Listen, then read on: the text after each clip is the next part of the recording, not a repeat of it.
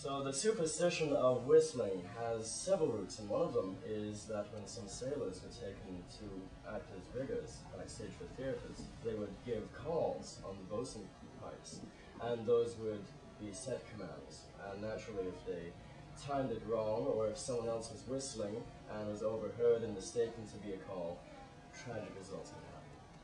Can we hear some of these calls? Certainly.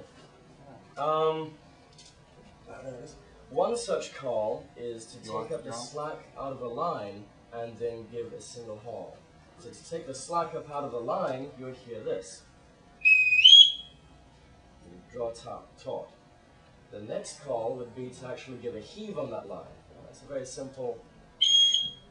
So you could hear that combination over and over again while they're hauling on lines, followed by a belay, meaning to stop or to make that line fast.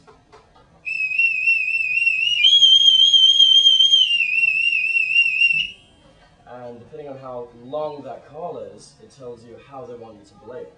So a very short belay would just be to hold the line in hand. And a longer belay would be to make that line fast, so it doesn't move anywhere you can step free.